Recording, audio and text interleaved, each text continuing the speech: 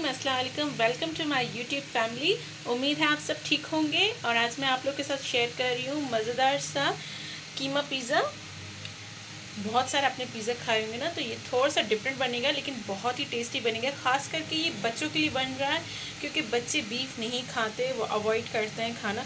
तो जब हम कीमे कीमे में बना के उनको पिज़्ज़ा आगे रखेंगे ना तो वो ना कर ही नहीं पाएँगे, वो खा लेंगे। तो कीमा पिज़्ज़ा के लिए हमें क्या क्या चाहिए? यहाँ पर कीमा लिया है मैंने, एक कप कीमा लिया है।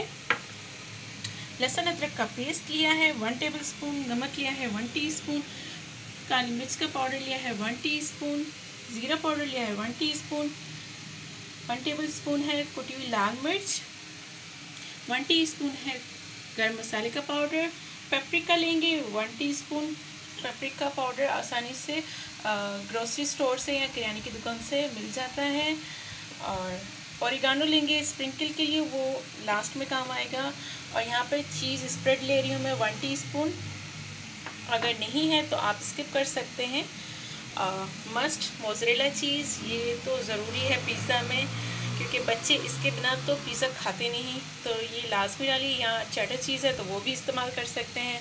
और टॉपिंग के लिए चाहिए यहाँ पर शिमला मिर्च ली है मैंने, बारीक एक टू टेबल स्पून कटी हुई है ऑलिव्स ली है मैंने ब्लैक एंड ग्रीन हंसब ज़रूरत, और यहाँ पर प्याज ली है मैंने, आधी प्याज ली जिसे बारीक से काट लिया है।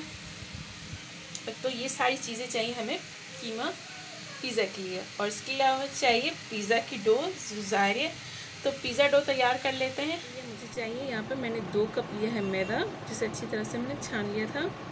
यहाँ पे मिल्क पाउडर है, ये वन कप मिल्क पाउडर है। यहाँ पे मैंने ईस्ट ली है वन टेबल स्पून ईस्ट है, जिसे हम खमीरा भी कहते हैं। वन टीस्पून लिया है मैंने नमक वन टेबल स्पून लिया है मैंने चीनी और हंसब ज़रूरत लिया है पानी। नीम गर्म पानी है। तो चलिए, सब शुरू करते हैं। इसमें जाएगी इंस्टेंट ईस्ट इसमें पानी में घोलने की ज़रूरत नहीं। चीनी, नमक, और ये मिल्क पाउडर। अब हम इसे हल्के हल्के हाथ से गूंदेंगे। अगर मिल्क पाउडर नहीं तो आप मिल्क भी डाल सकते हैं, लेकिन अगर मिल्क पाउडर है तो आप पानी से भी डो को गूंद सकते हैं।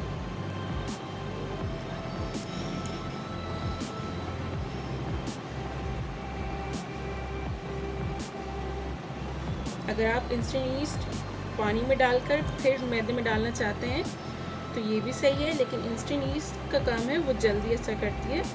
तो आपको पानी में डालने की ज़रूरत नहीं, आप डायरेक्ट मैदे में भी डाल सकते हैं। हाँ लेकिन अगर खुलने के बाद वो ख़राब हो जाती है, आप हमेशा ईस्ट साशे में लिया करें, क्योंकि वो खुलने के बाद ख़राब हो जाती है। अगर हवा लगती है तो वो ख़राब हो जाती है।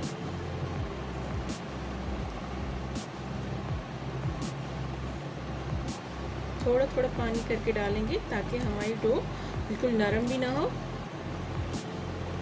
तो देखें हमारी डो बिल्कुल तैयार हो चुकी है। ये आधी तैयार हो चुकी है।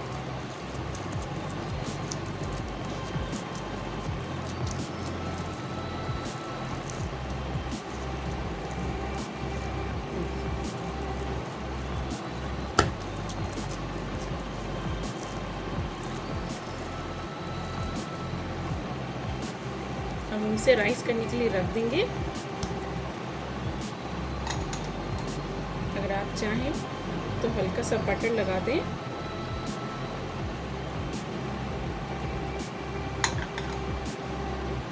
अब इसे कवर कर देंगे कम से कम एक घंटे के लिए क्योंकि गर्मी है तो ये एक घंटे में ही राइस हो जाएगी। अगर गर्मियाँ नहीं है तो ये कम से कम दो घंटे लेती है राइस होने के लिए।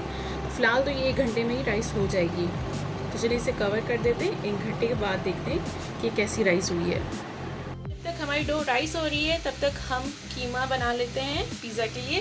तो यहाँ पर कढ़ाई में मैंने डाले हैं टू टेबल स्पून ऑयल के। इसे गर्म होने देंगे। ऑयल हमारा गर्म हो चुका है। हम इसमें डाल देंगे लहसुन अदरक का पेस्ट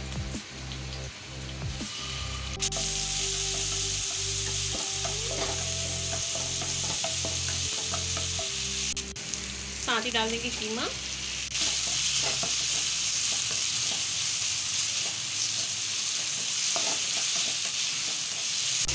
नमक डाल देंगे।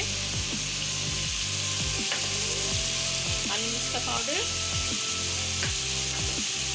गरम मसाला। कुटी लाल मिर्च।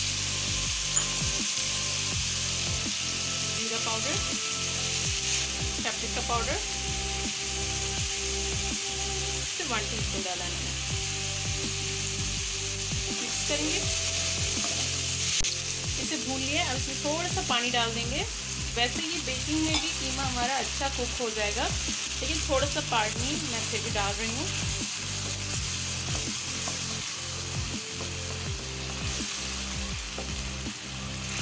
तो कीमा जब तक हमारा कुक होता है तो देखिए हमारी माशाल्लाह से डो अच्छी खासी राइस हो चुकी है डबल नहीं ट्रिपल राइस हो चुकी है। तब तक यहाँ पर हम पिज़्ज़ा ट्रे को ग्रीस कर लेते हैं। थोड़ा सा ऑयल लगा के, बस बिल्कुल ना के बराबर इसे ग्रीस कर लेंगे।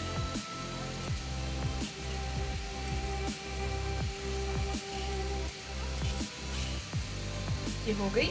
यहाँ पर हमारा डो बिल्कुल तैयार हो चुकी है, अब इसे सेट करते जाएँगे। हाथों की मदद से ही सेट करेंगे।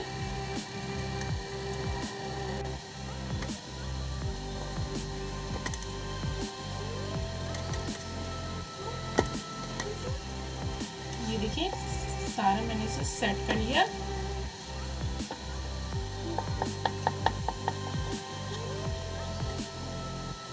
अब ऐसे इसके किनारे बनाएँगे।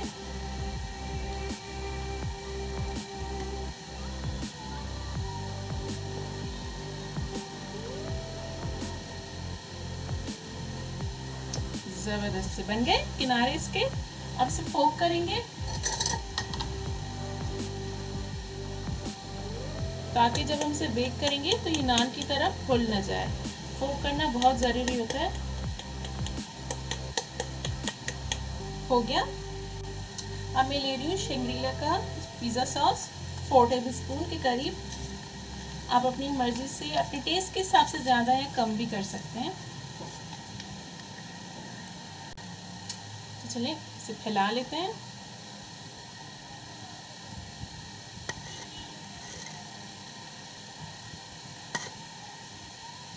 हो गया।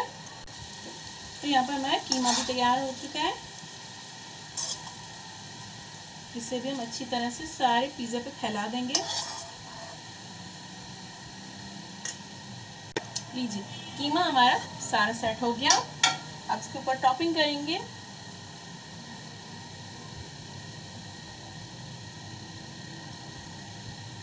शिमला मिर्च। शिमला मिर्च तो बच्चे खा लेते हैं हाँ ग्रीन चिली वो नहीं खा पाते तो उससे आप अवॉइड करिए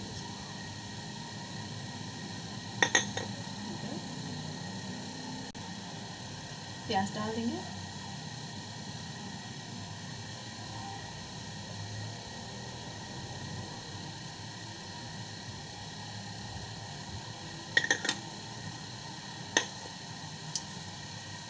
अब चीज़ डाल देंगे। ऑलिव्स ऊपर से डालेंगे, वरना जब हमारी चीज़ मेल्ट होती है तो हमारे ऑलिव्स छुप जाते हैं।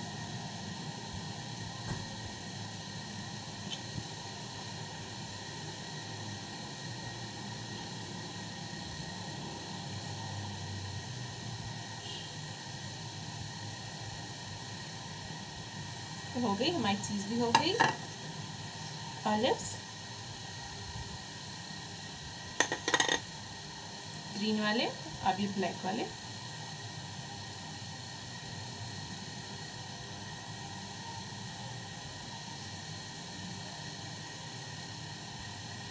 तो तैयार है? देखें, ये आधा तो तैयार हो चुका है। बस अब इसे बेक करना है।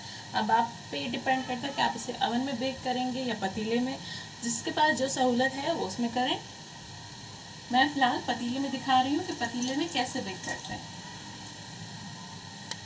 तो यहाँ पे मैंने पतीला रख लिया है।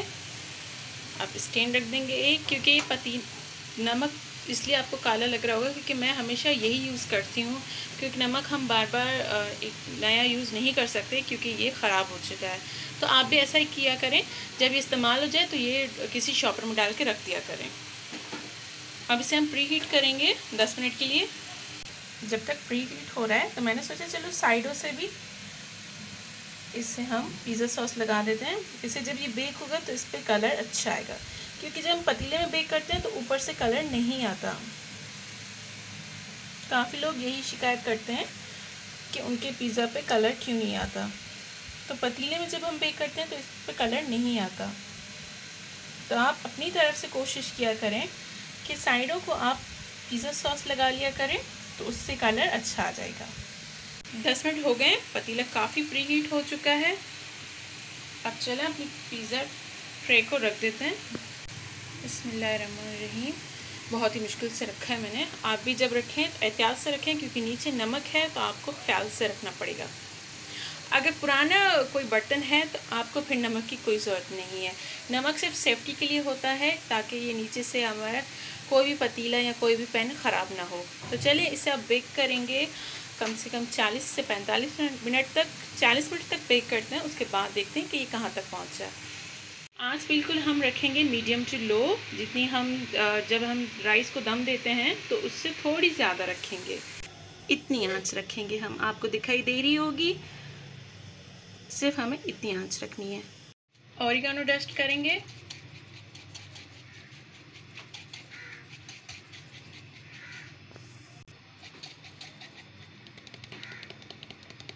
बस फाइनल में हमने ऑरिगानो डस्ट कर लिया है।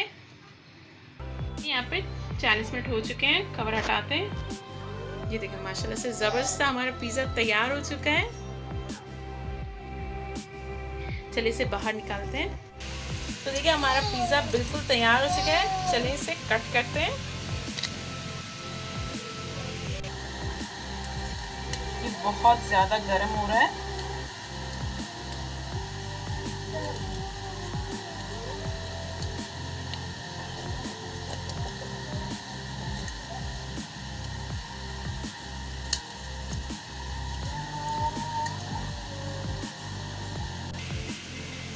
तो ये ज़बरदस्त सा हमारा पिज़्ज़ा तैयार हो चुका है काफ़ी गर्म हो रहा है, नीचे से मेरे हाथ जल रहे हैं। तो अभी अभी मैं इंजॉय करती हूँ इस पिज़्ज़ा को, लेकिन आप भी घर पर ज़रूर बना कर ट्राई कीजिएगा इंजॉय कीजिएगा इस डिलीशियस से कीमा पिज़्ज़ा को। रेसिपी अच्छी लगी हो तो वीडियो को ज़रूर लाइक कीजिएगा शेयर कीजिएगा, ज़्यादा से ज़्यादा। और चैनल पर नए आए हैं तो सब्सक्राइब ज़रूर कीजिएगा, बेल आइकन को ज़रूर प्रेस कीजिएगा, इससे मेरी आसान सी वीडियो आप तक आसानी से पहुंचेंगी। शुक्रिया, अल्लाह हाफिज़।